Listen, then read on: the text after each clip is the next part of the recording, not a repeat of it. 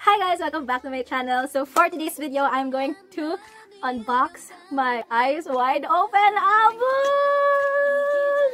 So I am very very happy. When I knew na nandito na yung Eyes Wide Open album ko, napahiga ako dito sa sahig namin. Tapos sobrang excitement ko! So this is my sister's gift to me. Nag-share sila dito. And I am very, very happy. Kasi nandito na sila. So, yeah. I pre-ordered this. It's my first time pre-ordering an album before the release. So, I'm very happy na I have this. I want the retro one. But, siguro maybe next time na lang muna. Kasi nung nag-release sila ng teaser, um, hindi sila nag-release ng teaser for the retro version. And ang nakita ko lang is yung story and yung style version. So, na-attract ako ng sobra sa style version because it's very me. It screams me. I mean, ganun yung mga type ko. Yung mga neutral lang, yung mga simple. So, yeah. Without further ado, let's get into the video. Just go hard. We just go hard. So, nabili ko to guys sa Gpop PH. So, again, thank you sa handler ko na tumutulong sa akin lagi to get the items that I need. Let's start with the pre-order benefit. And ito pa. Ayan! The holographic hologram photo card. So, ang gagawin ko yung mga ginagawa ko sa aking usual na unboxing wherein papakita ko sa inyo yung reaction ko with my pools and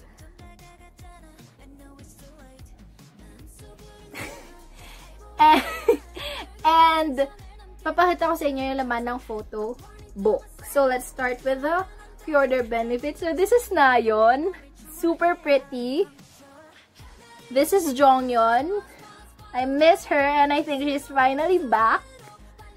And Momo Momoring, my current bias. Sana, the ultimate bias wrecker. Gio, my bias forever. Mina, I'm in love with Mina. I'm leaning towards Mina recently. Dayon, Chaeyoung, super ganda. Chewy, my first, no, Dayon was my first bias. But kasi siya kasi yung kilala ko, so siya na yung kinonsider kong bias. Pero, if kilala ko na sila and yung first bias ko, it's Chewy. And then, it's a group PC.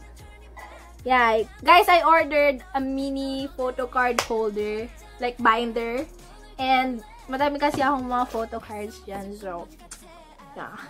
So, let's start opening this album. I have to be very careful. I'm so excited with my pools and the posters and everything. So, super pretty. Never ako na-disappoint sa album ng Twice kasi good quality talaga sila. So, um, Shocks ako na guys! Grabe, parang nung nakaraan lang. Parang mas malaki siya than the More and More. Wait, kunin ko yung More and More album ko. Then I'm gonna compare them.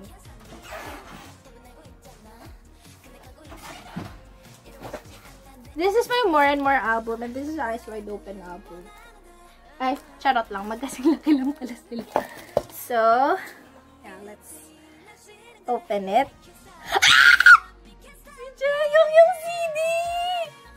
Wait, I'm genuinely so happy. Alam nyo guys, sa CD, ang ayaw ko lang mapul, si Nayon. I mean, okay lang naman. Pero kasi, yung dalawang More and More album ko, para sila si Nayon. So, I'm hoping for other members. Oh my God!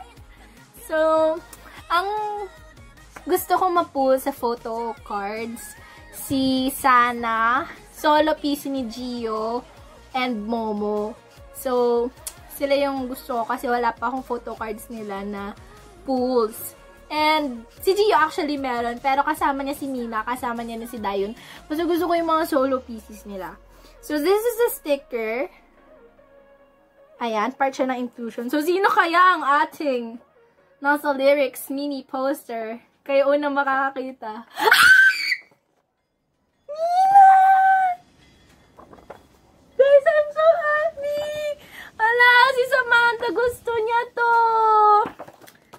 wait lang. So, tignan na natin yung iba photo cards. Nakahiga silang lahat, guys. Tignan muna natin yung nasa message card. Ah!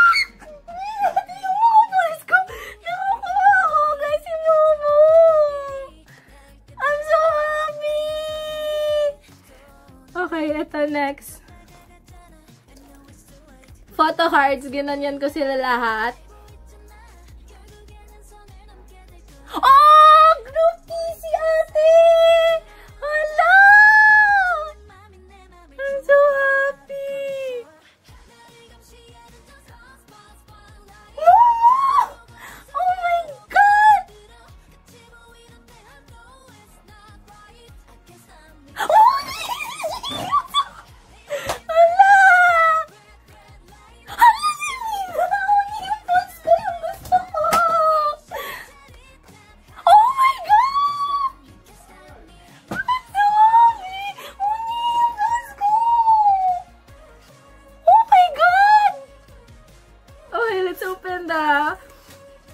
Tapos tignan natin yung...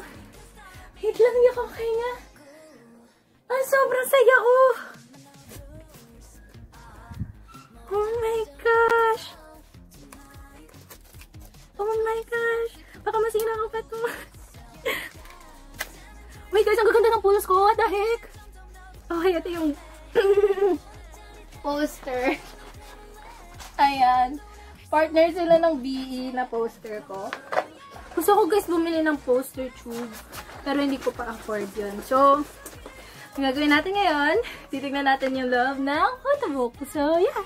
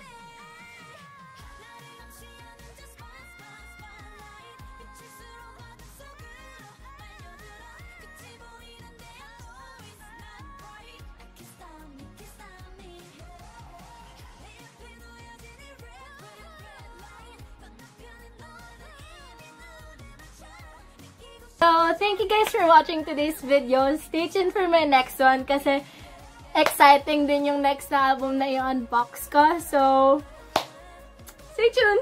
thank you guys for watching. By the way, I'm not trying to brag in any way, shape, or form. Gusto ko lang i-share sa inyo kung bigyan kayo ng idea kung anong meron dito. So, hindi nyo alam kung gaano ako kasaya ngayon.